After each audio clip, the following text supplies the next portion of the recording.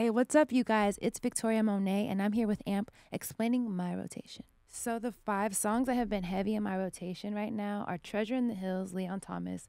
I think Leon is a superstar. He's a great vocalist. He's been working at it for a long time, just like I have. Another one is Snoh Aalegra, Be My Summer.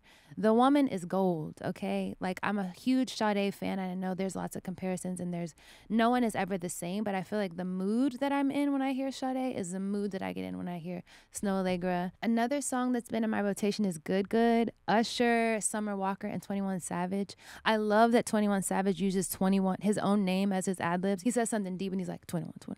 I love that. I love um, Summer Walker's vocals. She has such a beautiful voice. And Usher is always forever giving us classics. He has to do the Super Bowl. What are we talking about? Who else? Who else?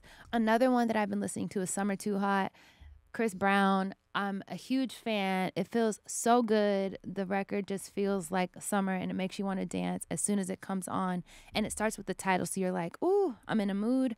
Another one that I've been rolling with a lot is um, Only Have Eyes for Two, Janelle Monáe. Janelle is such an icon. She's taken us through so many versions of herself. Um, being that I'm bisexual, I feel like there's a world where I could feel that song and I relate as I'm thinking about two of the genders. They only have eyes for two. So, so I love Janelle. The Monáe's got to stick together. Those are my heavy rotation songs, and I hope you listen too because they're really, really great.